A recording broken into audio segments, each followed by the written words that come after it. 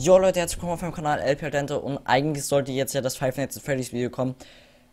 Aber weil mein Fraps abgekackt ist, hat das nicht geklappt. Ich habe jetzt Nacht 2 geschafft. Ich bin jetzt bei Nacht 3. Das tut mir richtig krass leid, aber äh, ich bin gerade beim Schneiden und ich habe gerade gesehen, dass das einfach mittendrin aufhört bei 1 Uhr nachts und 79% Akku.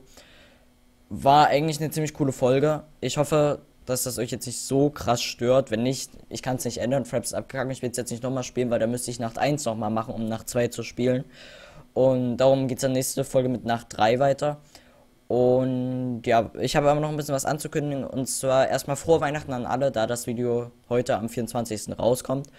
Und äh, was ich noch ankündigen wollte, ich habe jetzt auf Steam eine Gruppe, die heißt Aldente. Und da könnt ihr gerne reinkommen. Das ist, äh, ach, ich schreibe auch den Namen unten in die Videobeschreibung. Und auch auf Crafted.eu, dem Server, habe ich auch einen Clan, der AD-Clan. Und da könnt ihr auch gerne reinkommen, wenn ihr wollt. Äh, schreibt mir einfach eine Mail. Ich nehme euch dann sehr gerne an.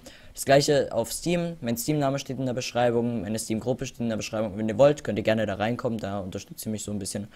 Und ja, was ich ankündigen kann, ist, dass äh, Outlast bald kommt. Beziehungsweise ich hoffe, dass es bald kommt. Ich habe es mir heute gekauft, weil es im Angebot war.